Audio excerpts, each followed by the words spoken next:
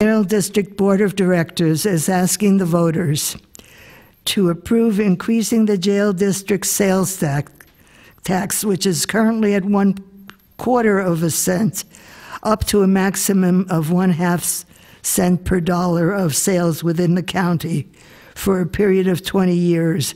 That's to 2035. Authorization must be approved by a majority of the voters voting in the November election. Uh, to talk about it, first I'd like to introduce uh, Sheriff Scott Mascher and Phil Bourdon. And then to give us another point of view, I'd like to also introduce to you now, and I will again later, Barbara Littrell. And for the three of them, thank you for coming. Um, Phil and, um, oh, which one of you want us to start, talk first? I, I can if you would like. I can do that. Okay. Um, First off, I'd like to thank you for, for having us here tonight. Um, This truly is a very important issue uh, for Yavapai County, not just for the county itself, but for the municipalities. I'd like to acknowledge your local chief of police here uh, from Cottonwood, Chief Fanning, who I've known now and worked with, uh, gosh, close, a long time. Almost 30 years. We, we kind of grew up in the county here together. But uh, uh, thanks for having us. Uh, I've been with the sheriff's office now about 30 years, um, and I've spent a lot of time working in the correction uh, jail part of the sheriff's office. The sheriff's office has two divisions, the law enforcement division and the jail division. And tonight I wanted to come and talk about the jail. Uh, what we have going on right now is, is truly we're at capacity with our inmates. Uh, the Camp Verde jail, we have, we have 600 beds we utilize for inmates, and we're at capacity.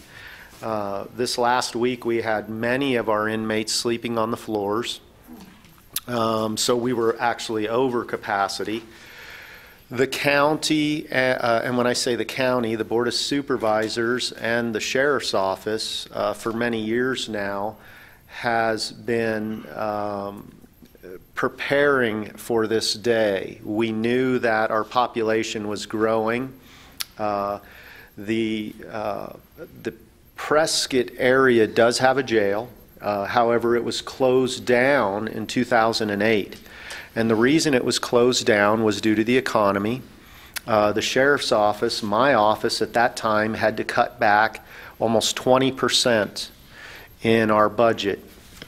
And what we decided at that time was if we were to cut the law enforcement side of the budget, that would pull about 20 patrol deputies out of the streets, out of the neighborhoods, out of where they work in the rural areas of the county, or we shut down the Prescott jail and we consolidate everything over into the Verde side. And so that's, that's what we've done. The other reason was we were having some real issues with the Prescott jail. Uh, and those issues still have not been resolved. The jail was built in the 1970s. It's about 120 beds. It's linear in design. We don't design them that way anymore. It's high intensity to staff it.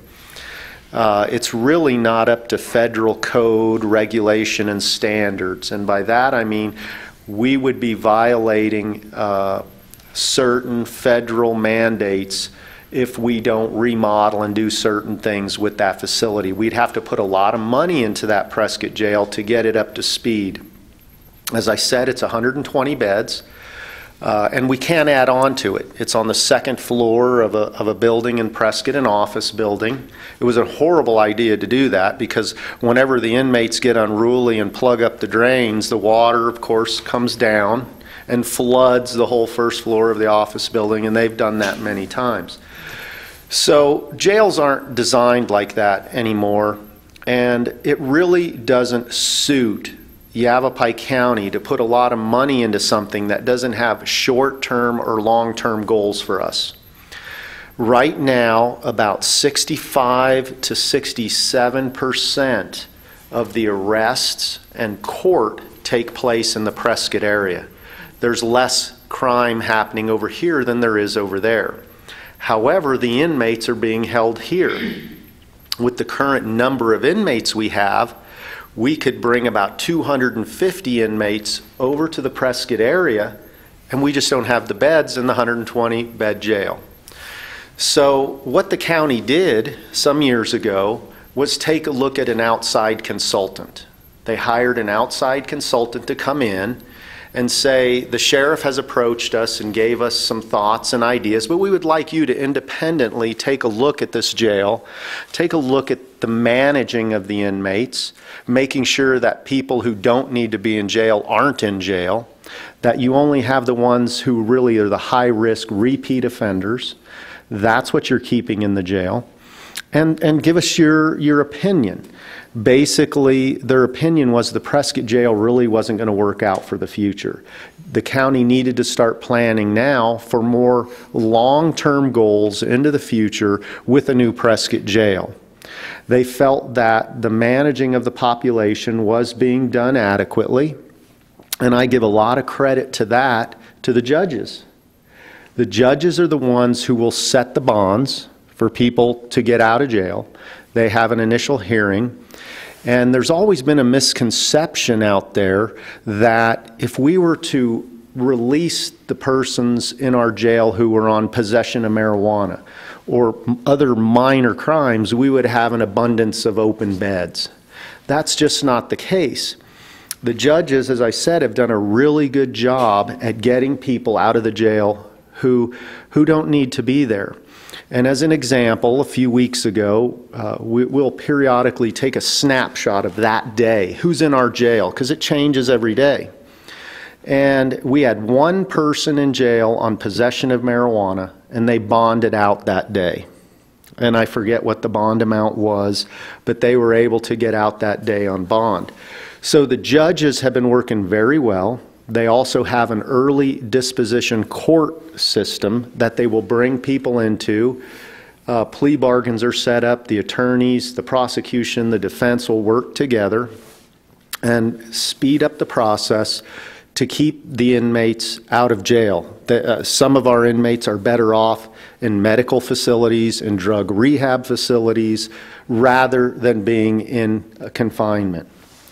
So, having said that, the other question I get a lot of times, and it, it, it's something I throw out there because somebody will most likely always ask me, is why don't you have tents? If you're going to do another jail, there's a guy down the hill who has tents.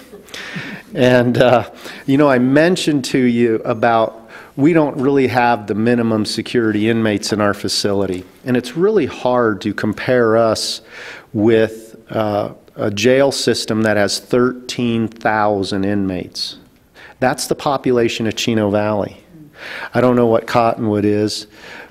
12. So uh, the, the inmates in Maricopa County is the population of Cottonwood, pretty much.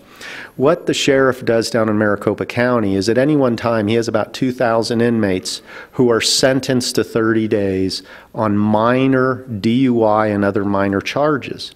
Well, he will then take those very low risk offenders, they're nonviolent, and he'll put them in tents for 30 days. We just don't have that population of inmates.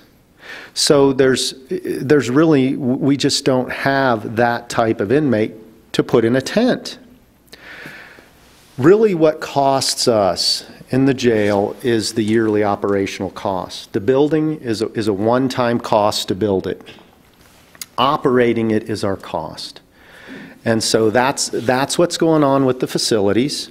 Uh, we're at capacity. We believe that uh, it's time now for us to have a 300 bed facility in the Prescott area. We, as I said, have been planning for this, so land has already been purchased. It was purchased some time ago where it was openly discussed with the public that this is where a jail would go one day because you always get, don't put it in my backyard, don't put it here. So that's already been taken care of. The infrastructure's there. Everything we need to build it is there. But what we need to do is be able to fund it.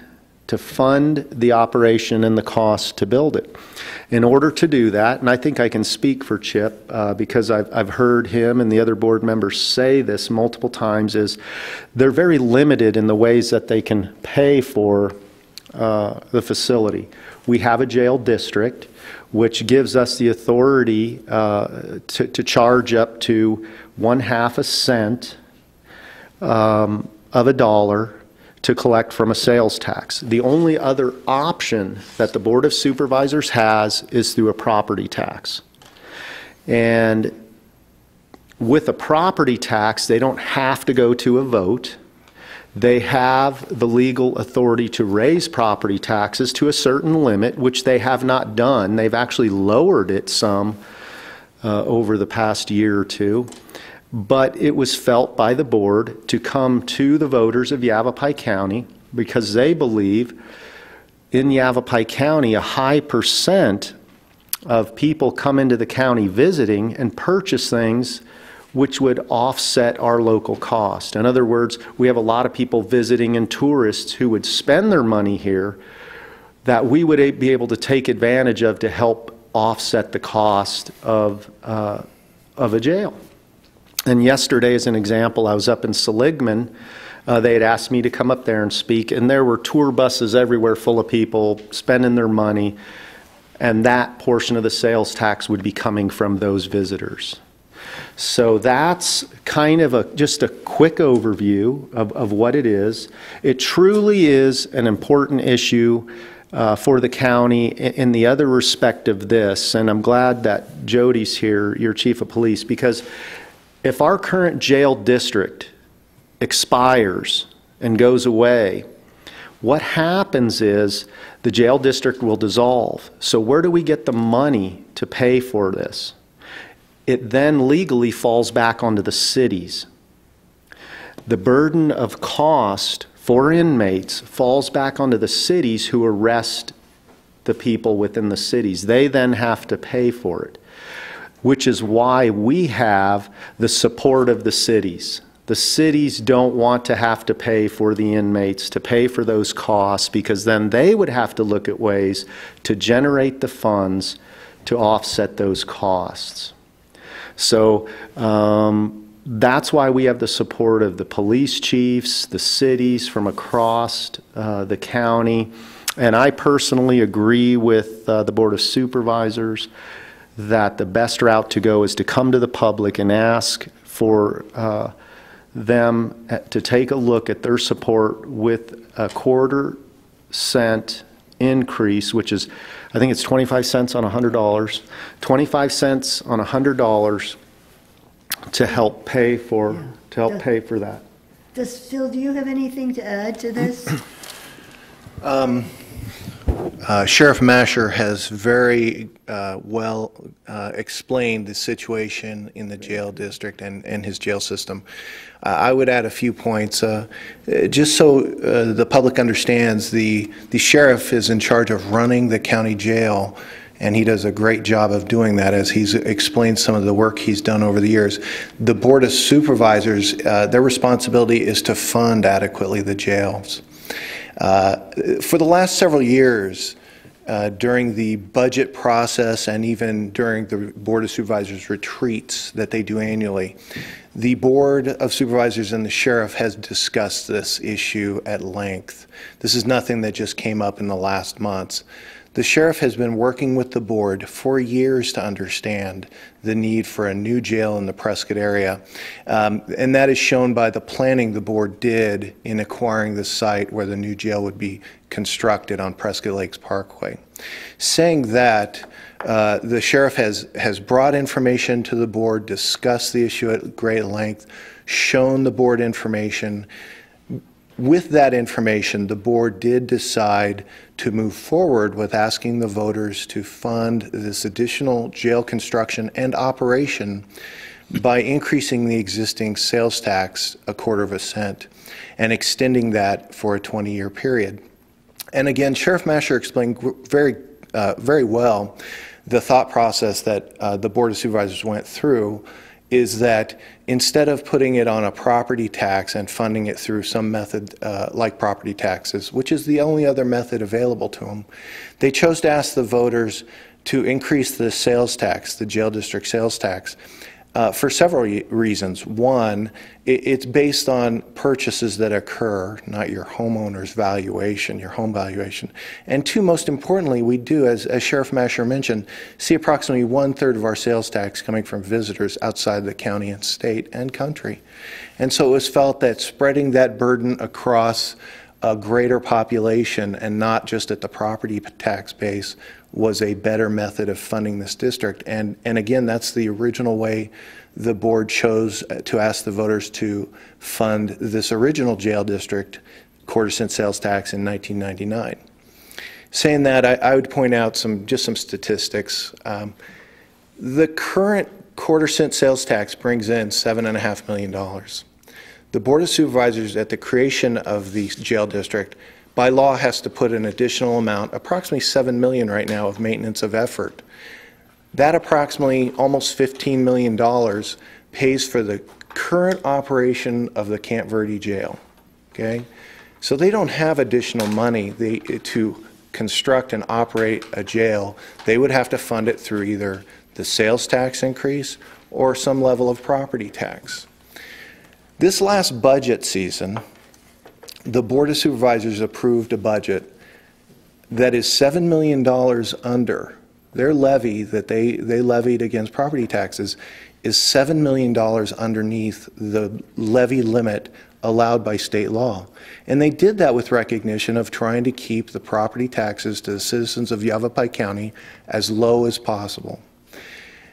We figure, when looking at our analysis in the county, that we will need this additional quarter cent sales tax which will bring in another $7.5 million annually, we estimate, to pay for the construction and operation of a Prescott jail.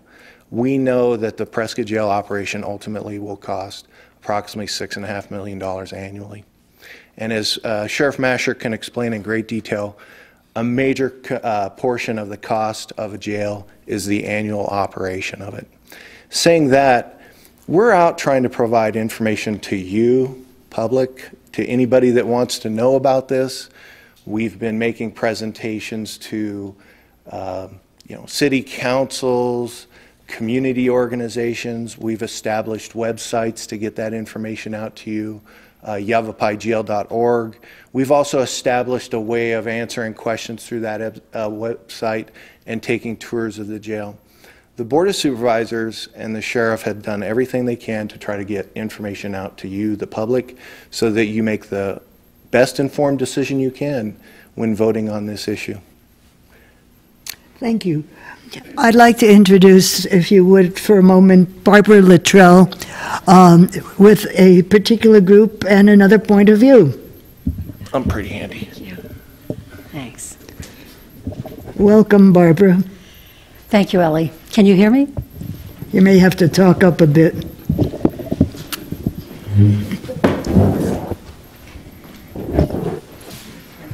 Okay, my next job will be in audiovisual.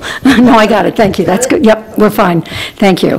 Thank you, thank you, Sheriff and Phil, thank you very much, we appreciate it. Um, I'm here tonight representing the uh, Mental Health Coalition of the Verde Valley, and I, I heard your uh, presentation when you came to the Sedona City Council as well. And I guess a year ago, before I was involved with the Mental Health Coalition, this would have all made sense. The numbers, the number of beds, the cost of operating the facility, they're indisputable. In the last year, as I've been involved with the Mental Health Coalition, there's another angle to it that doesn't really come with the numbers. And I looked on your website, and all your answers to questions are there, but it's very clinical. And the one thing it's missing is a humanity. And so, over the last year, as part of the Mental Health Coalition, I've just learned a lot of things that give it another perspective. And I'd like to offer them to you this evening, as well as have three of our members of the coalition share a very brief story so that we can put a human face on the jail as well. And, you know, quietly but steadily, the jails and the prisons are replacing the public mental hospitals as the primary providers of psychiatric services for individuals with serious mental illness in the United States we're not alone, certainly here in Yavapai County. The trend is evident everywhere. In San Diego County, the assistant sheriff was quoted as saying, We've become the bottom line mental health provider in the county. In Seattle's King County, the jail has become their largest institution for the mentally ill. In Travis County in Austin, Texas, it said its psychiatric population rivals that of Austin State Hospital. But in Travis County, as you may know, they put in another program called the Integral Care Jail Diversion Program and Strategies that has reduced recidivism into the jail and has also uh, brought the community into the process with community services. In 2012, Arizona served 307 clients in our state psychiatric hospitals, 307. The number of seriously mentally ill individuals in our prisons and jails is 10 times that number number, so you're looking at 3,000 across the state. Most of the public is not aware of this. I was not aware, aware of this a year ago. Um, I had no idea that this was going on. In Yavapai County, it's estimated that 60% of our inmates are suffering from some form of mental illness. Of the 500 beds, and it's interesting, you say there are 600 beds, but on your website even it says that only about 500 can be used because of classifications. And so, you know, there are 100 beds that can't that can't be used. But that does mean that out of 500 that are used, about 300 are occupied by people who might be better served in a medical facility and and with community services as follow up. In addition to the individuals being affected, their families are affected. So the reach is not just to the 300 that are occupied by those with mental illness, but to their entire family and what it does to them. And what are we doing? And what is the, what are the sheriffs of Arizona, not just you, but what are the sheriffs of Arizona doing to put pressure on the legislature to restore funds for mental health issues? Because is that what a jail really should be?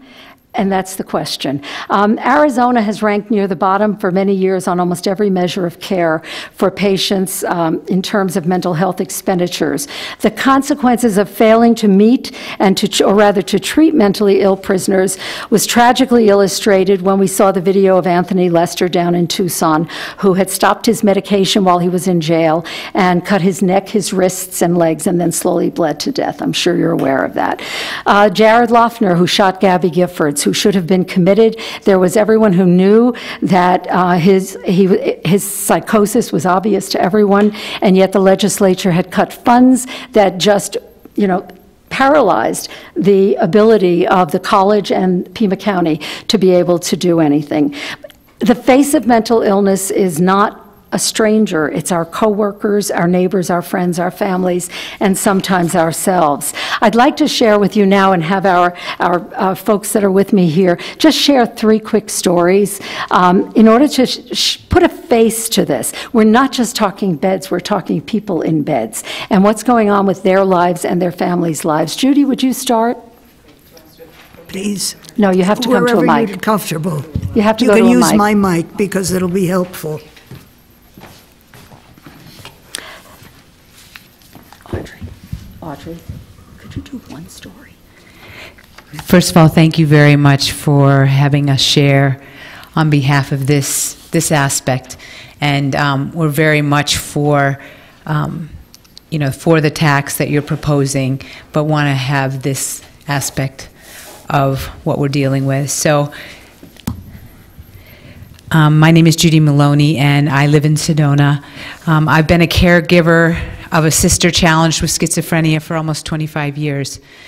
The last four years, she moved to Arizona to be close to and live with my husband and me, as we were the ones that she could turn to. Unbeknownst to her, her mental illness had been deteriorating from schizoaffective schizophrenia to paranoid schizophrenia. Her first episode was about 25 years ago when she was in an airport where she lost her purse and all of her identification. She was picked up by security and police and then locked up and given actually electric shock treatment at that time. And it took 11 days for us to find her. Moving here required our not only addressing her housing situation, whether with us or on her own, but also the social, medical, therapeutic, and emotional support. I did find NAMI as a support group, but the community services in and of themselves was pretty limited. And she was already resistant to therapy and medication, and there are hardly any professionals that really had dealt with schizophrenia, and the ones that have to have don't necessarily take in, um, insurance. Therefore, I was very much alone in my search for resources and support from psychiatrists, therapists, therapy, alternative psychiatric supported housing, residential facilities, and programs. And through this three year arduous process, coupled with my own compa compassion fatigue, caregiver stress, I recently actually had to give up my relationship with my sister to have her return to Massachusetts, where there are a number of psychiatric supported residential group homes to independent living, as well as a breadth of mental health hospitals to serve her needs. And these facilities cost anywhere from 10,000 to $30,000 a month. But today, the story I have to tell is how this really cut off the only love and care my sister has had in living with her mental illness. She moved to Boston for legal procedures and medical assistance, but her primary long term emotional support that I provided over 25 years is missing. So, beyond the financial and legal support, family members rarely visit and have taken any real familial care. Our father, her mother, and six brothers and sisters who live in the area have visited her for only about eight, year, eight times this year and even those that live near her, she's not invited to family events. This is starkly different than the life that she had here with the minimal health services that we had. So I'm just devastated that there aren't the facilities or programs for her to remain here in Arizona. And there were some incidents that could have had her close to when she was here, ended up being in a situation where she might have been in jail. The next uh, is Audrey Dorfman, who's going to share a letter from someone who wanted to be here but couldn't. Um, the name in the story is changed to protect this person's privacy. With Nora's permission, this is her story. She wants it told as she feels if it can help one person in any way, she would feel some sense of accomplishment and restoration. I will be sharing parts of a letter she wrote to me and my husband. She asked that we tell it so perhaps some changes can made, be made to assist her and others as they serve time in prison. Fred and I serve as a support system and advocate for her and others in the mentally ill community who often do not have voices of their own or who cannot find those who are willing to listen. While in high school, Nora was diagnosed bipolar disorder, depression, PTSD, and later on suffered addiction issues and alcoholism. Her biological father, also bipolar, committed suicide at that time. Nora was raped while in high school and again was sexually assaulted in 2011, thus leading to suicide attempts. She has sustained a neck and spine injury, which, as all too common in our society, led to a pill addiction. Drugs consumed her life. All too often, those who suffer with mental illness um, their inability due to their illness to continue appropriate treatment leads them down to an illegal path. Nora started doctor shopping, getting illegal prescriptions, stealing. In other words, doing whatever it took to support her addiction and numb her pain. During this time, she was trying to raise her kids, attend college, and hold a job. Her husband at the time was abusive, and soon the marriage ended. Nora is currently serving a 15 year sentence at Perryville Prison in Goodyear, Arizona. She told us that she absolutely believes that her mental health issues contributed to her trouble with law enforcement, but also knows that she is accountable for her behavior. She only gets to visit with her children once a month, and as difficult as that is, she said she's grateful for the contact.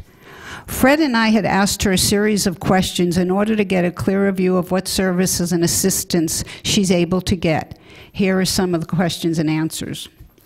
In your court case that ended with your incarceration at Perryville, Were your mental health challenges considered before and during sentencing?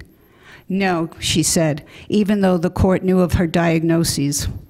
Are you currently receiving any services, counseling, medication, etc. at Perryville? Answer. I received a psychological evaluation that was ordered by my public defender that stated I should be receiving counseling. I have been offered no counseling since I've been here. I am currently taking Effexor, which has not been helping much with my anxiety. It takes four to six weeks to see a nurse practitioner, not a psychiatrist, to talk to someone about my medications or psychiatric problems.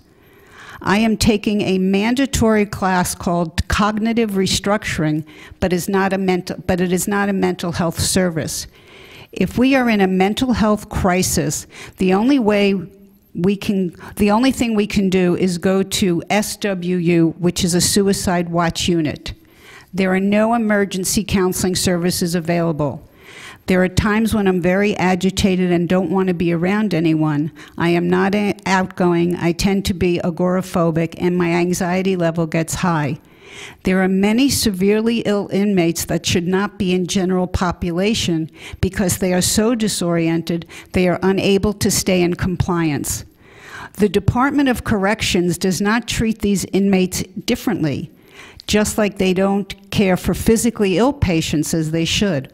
All in all, mental illness is not treated here except for medication that is not prescribed by a psychiatrist, but a nurse practitioner who sees you in a matter of a few minutes and does not take a mental health history prior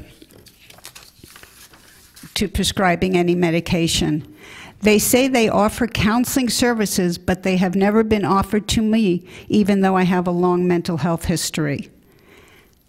And then we asked, if you ever asked for help, how long does it take to get?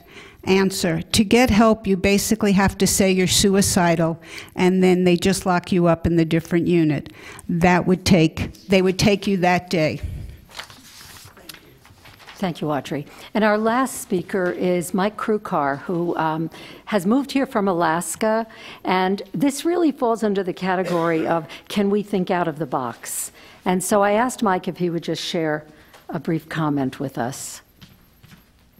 I've been, I've, uh, I live in Sedona and I've been here two and a couple years and we love it.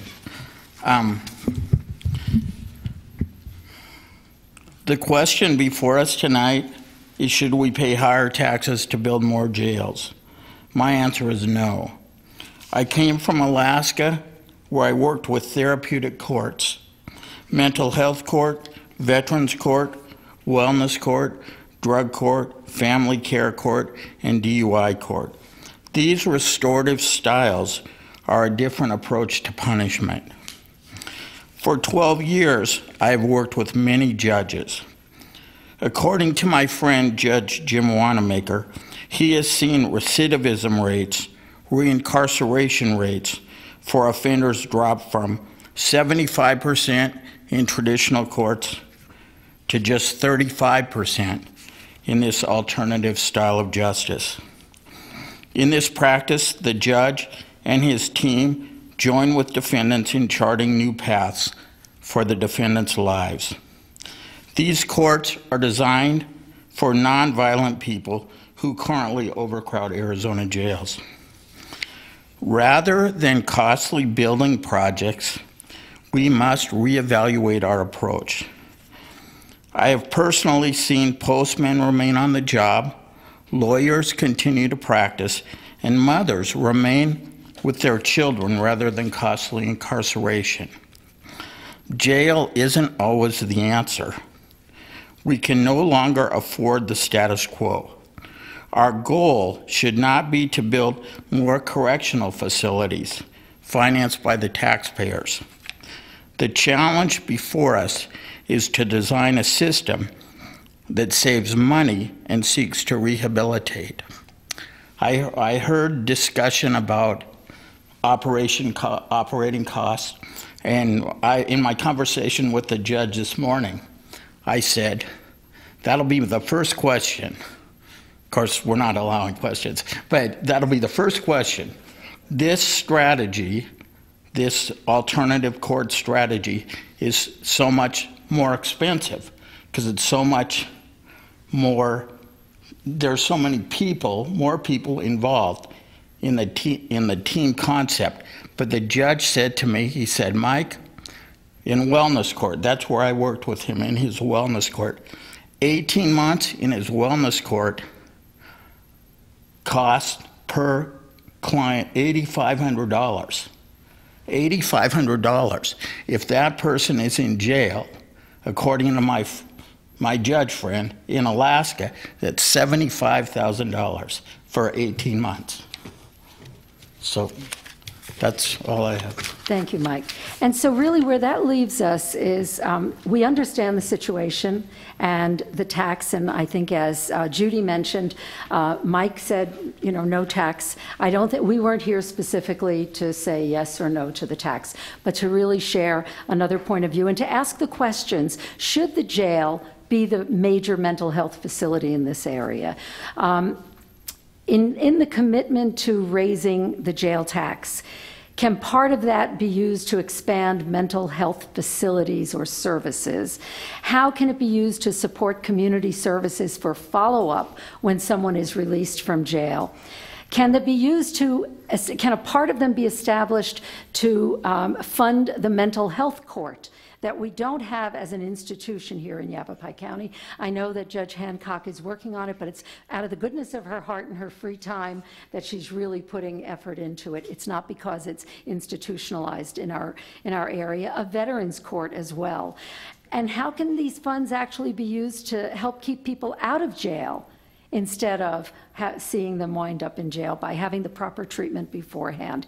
And we would hope that Yavapai County can lead the way by thinking out of the box, consider other styles as well to complement what you're doing. And maybe we don't end up having to have 900 beds that are jail beds, but actually be able to address the needs of the people who are in the jail. And I think that would. Um, we, we feel that that would be the direction to take. And as an organization, we are willing to do whatever is necessary to work with you in order to be able to uh, better serve the community. So we appreciate the time to speak tonight. I'll turn it over back to Ellie and Robin. Did you, I'd like, Phil? the sheriff could respond, Okay, actually. you guys need that. Phil is chatting away there like crazy. There you go. That, that was a lot of questions, but I'll, at least comment a little bit. And uh, I understand exactly what you're saying. I could tell you very similar stories uh, from what I've heard, stories that uh, I've personally been involved with with people, you know, in my job for 30 years. They're sad. But I will tell you, as a police officer, pretty much my whole career, what I think was one of the biggest problems we face nationally. And, and I'm not a medical person, so maybe my terms aren't appropriate, but what I believe happened and, and what the causation was is back in the 70s and 80s, our country decentralized mental health treatment. And I think there was good intention with that. I believe the discussion was that that treatment would fall back into the local neighborhoods, into the families and things to better help these folks that but it didn't. What it actually has done is it's criminalized mental health. And mental health is not a crime. And unfortunately, as some of the things you read, and I truly believe jails have become the biggest initial mental health treatment centers in this country because federally we have failed to provide any future planning on a national level for mental health. But I do believe there's two issues here. Uh, there, there's such a varying degree of mental health issues. You have people who may have slight mental health issues to very severe mental health issues. And many times, because it's now criminalized, the jail is will provide the very first diagnosis for the mental health. And so far as in Arizona, one of the biggest accomplishments I think that we have seen recently, and it was somewhat controversial for, for folks politically, I think, and that was uh, to provide Medicaid AHCCCS costs to single childless adults, which is the majority of the inmates we see in our jails. What that has helped us do in Yavapai County is we are able to provide people we diagnose in our jails with proper treatment and therapy, but the jail's not the place. But what it provides us to do is we can transition them out of jail into a more therapeutic environment, and the costs for that will now be picked up by AHCCCS. What we were seeing is people were in our custody, they were diagnosed, they were court ordered to go to outside treatment, and when they showed up, the treatment center would say, We're not going to take you, there's no money to pay for it. That's where we saw the recidivism. That's where we saw them come back to jail. So I think in the last year or so, we now have the capability to diagnose these, these mentally ill folks, to go out and transition into the outside, continue with the treatment in a more therapeutical environment, and that has cut our recidivism. And I think it's going to work much better than what it's been. I also agree that Arizona is way behind in mental health treatment, especially in the facilities to do it. Many states, many states have county-run mental health units. We don't have that in Arizona. I truly believe the issue is to legislate on a national level to get the treatment, to have mental health courts take into consideration the issues, and to get these folks out of jail who don't need to be in jail the treatment that they need.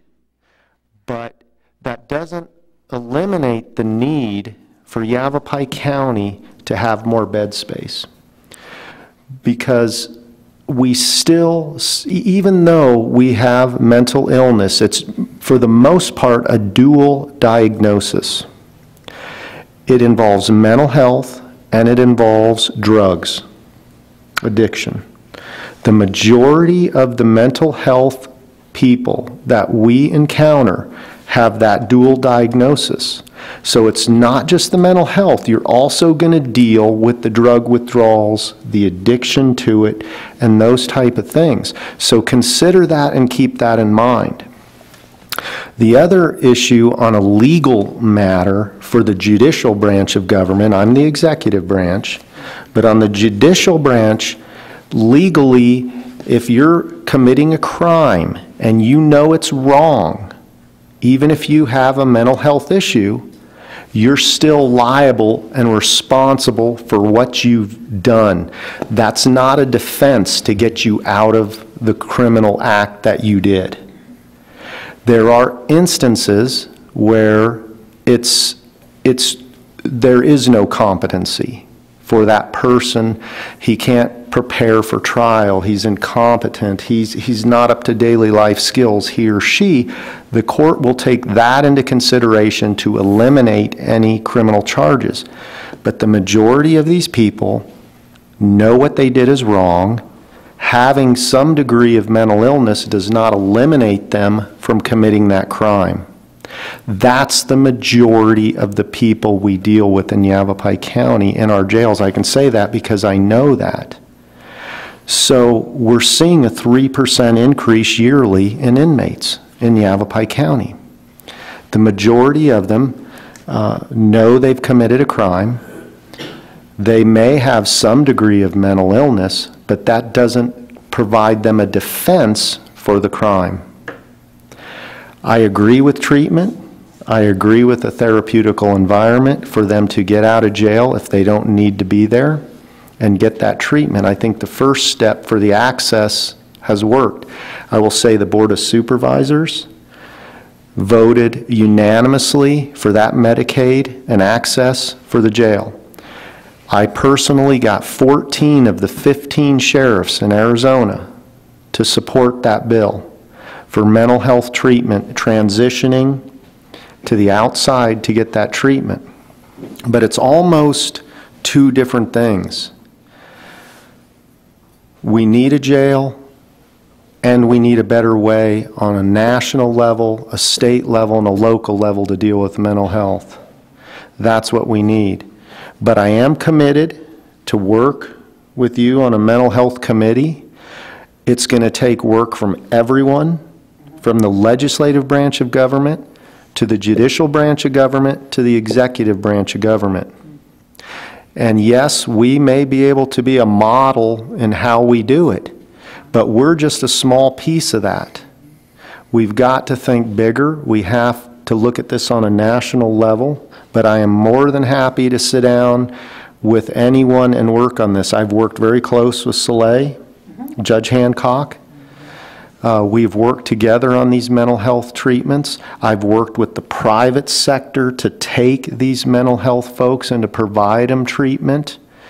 Um, We are providing training to our officers, our deputies on the street, on how to detect and handle mental health issues.